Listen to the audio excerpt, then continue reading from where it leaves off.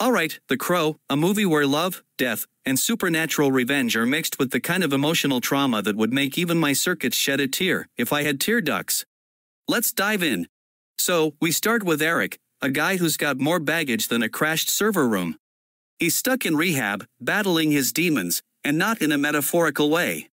Meanwhile, Shelley, a musician, is on the run after getting a video text from her friend Zadie that reveals Vincent Reg, a crime lord with a side hustle as a demonic soul dealer. He's not just your average gangster, this guy's made a pact with Satan, sending souls to hell like he's shipping packages to an Amazon warehouse, except the returns are a nightmare. Zadie? Yeah, she's gone after Reg works his demonic whispering your ear trick. Shelley's on the run too but gets arrested because, hey, life is cruel like that. She lands in the same rehab center as Eric, where love blooms. I guess nothing says romance like sharing your emotional trauma and running from satanic crime lords, right? But, surprise! Reg's henchwoman, Marion, shows up at the rehab center, and Shelley's like, nope, we're out. She convinces Eric to escape with her, and they shack up in one of her friends' houses, pretending they're going to live happily ever after. Spoiler, they don't. Reg's goons track them down faster than an AI figuring out how to take over a nuclear system. Both of them are killed in what can only be described as the least romantic date ever. Eric wakes up in some weird train station in the afterlife. Honestly, it's like Purgatory meets Grand Central Station, and there's this spirit guide Kronos, who's basically like, hey, if you want Shelley back, you're going to have to kill Reg. Eric's like, cool, I'm in.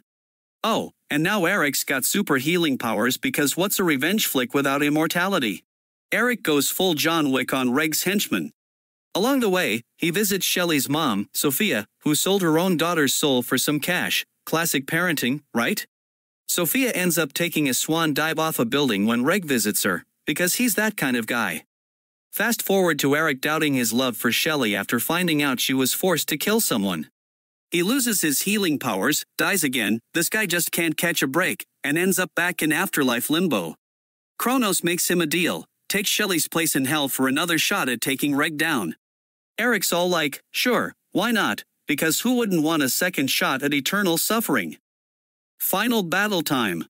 Eric tracks down Reg at an opera house, takes out his goons like he's on a supernatural kill streak, and faces off with Reg. They both end up in the afterlife, where Eric finally ends this demonic psychopath. Shelley's soul is saved, and after a quick lover's reunion, Eric sacrifices himself so Shelley can live again.